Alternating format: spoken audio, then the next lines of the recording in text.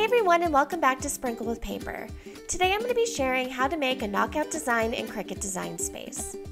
So basically a knockout design is when you combine two different designs into one by knocking out a portion of one of the images to fit in the second image. So it's kind of like creating a puzzle. And in today's video, I'll demonstrate exactly how to create your own by showing you how I made this cute football shirt for my daughter. The supplies I'll be using today are this really cute t-shirt that I found over at Hobby Lobby. I liked it because it had a little bit of a sporty feel to it. So I think technically it's a baseball shirt, but I thought it would be cute for football as well. It has some cute detailing on the arms and this line that goes across the chest and I believe it was only $5. It was on sale. And then I'm also going to be using this gold shimmer iron-on, which this is the first time I've ever used a shimmer iron-on, and I absolutely love it. I will definitely be picking up more shimmer iron-on in the future. The other iron-on that I picked up is a solid navy, and then the tools needed to finish this project will be my iron, my weeding tool, scissors, and my Cricut mat. Now let's jump right into creating our design.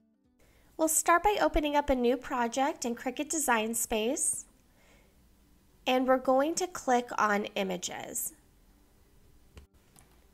From here, we're going to be looking for a football image.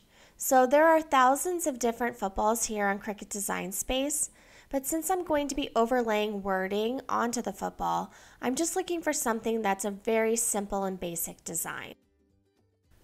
Once I find what I'm looking for, I'm just going to select it and then I'm going to add it into my project. Now I'm just going to rotate it and make it a little bit larger.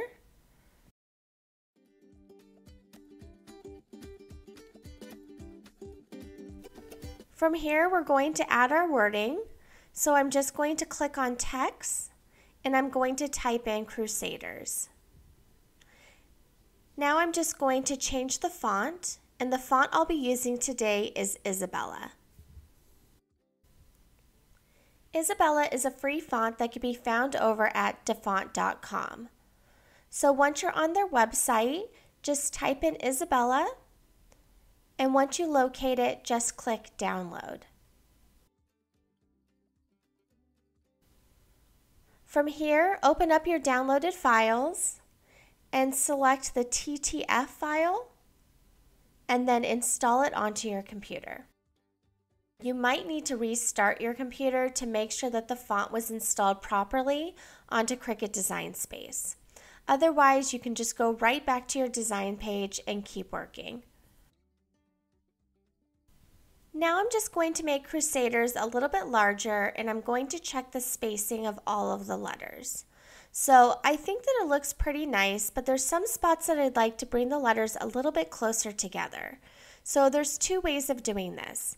We could use the letter spacing tool, but that will move all of the letters closer together, and I don't want to do that.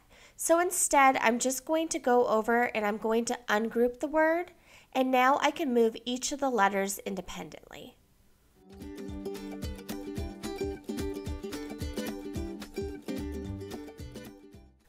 Once I'm happy with the letter spacing, I'm just going to highlight the whole thing and I'm going to click Weld.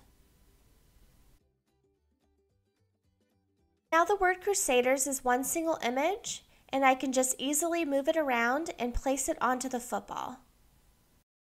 So now this is where we're going to create our knockout design. I'm going to use the offset feature.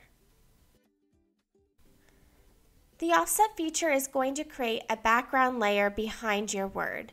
So you can make that background either larger or smaller by increasing or decreasing the distance in the offset feature.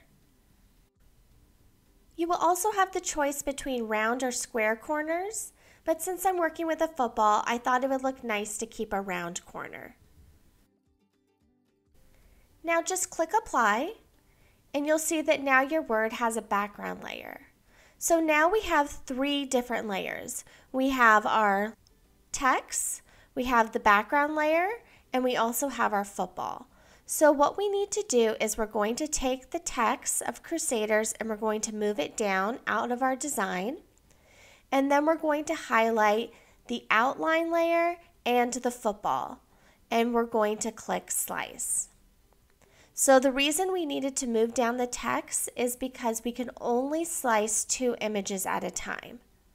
So now that our image is sliced, we're just going to delete these pieces that were cut out. And then once we've deleted all of the pieces, then we can go in ahead and move our text of Crusaders back into that empty spot on the football. So this is what I was talking about of kind of creating a puzzle piece.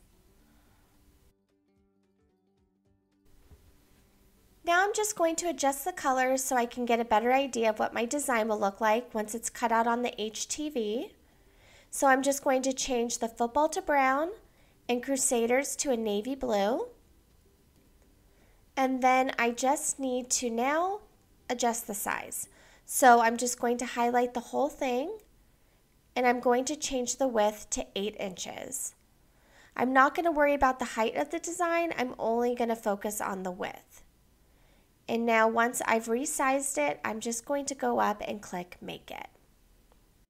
So now that we're on the cutting page, this is one of the most important steps when working with iron-on, which is also known as HTV. So we need to make sure that we mirror the image. And we need to make sure that we're not only mirroring it for the first part of the project, but also the second, or however many layers that there are. So we're going to change it here for the football, and then go down and change it for Crusaders. And then we're going to double check, triple check, and then hit continue. Now I just need to set the material. I'll be using Everyday Iron-On for both the shimmer and the solid iron-on. Now when attaching the iron-on onto your Cricut mat, it's important to make sure that you're attaching it shiny side down.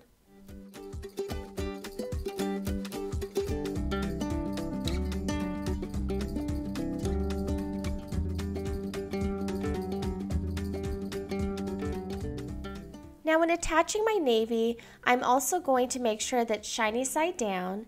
And since it's just a small strip and my mat isn't that sticky anymore, I'm going to use some masking tape to reinforce it to make sure it doesn't shift around when cutting.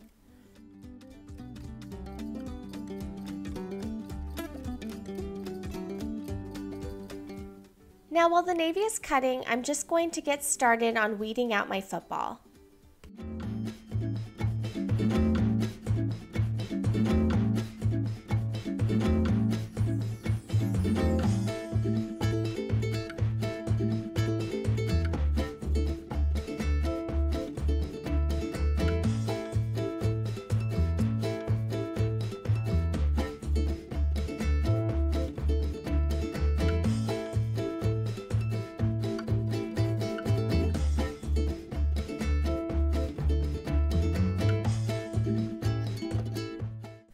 Now I'll just weed out Crusaders.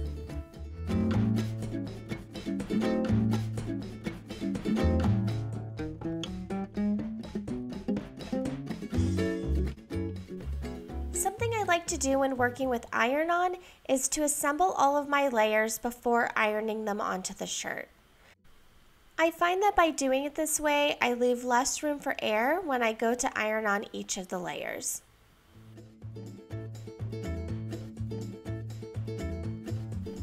Now to find the center of my shirt, I'm just going to fold it in half and then I'll run my iron down the seam.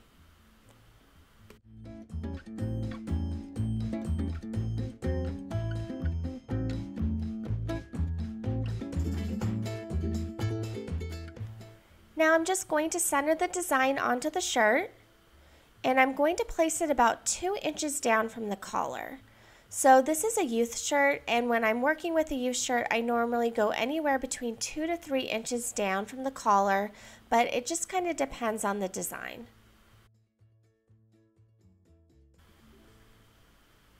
Now we could just pull back this top layer and then we'll iron on Crusaders.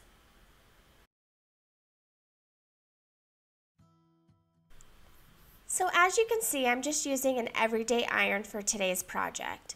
And the iron works fine, but I do feel like the Cricut Easy Press works so much better. So not only is it a lot faster, but I also feel like it's more fail proof. When using your iron, I feel like there's a lot of room for error because it's easy to shift your design. So when you're ironing, you're going back and forth and up and down, and it's really easy for your design just to get shifted, even just a tiny bit, to where it no longer looks perfect. It will work, but it won't be perfect. And if we're spending this much time and this much money on supplies, we want it to be perfect. So I feel like with the Easy Press, it's great because you're just putting it straight down and then lifting it straight up. So there's way less room for error, and you're going to end up with a perfect project more often than not.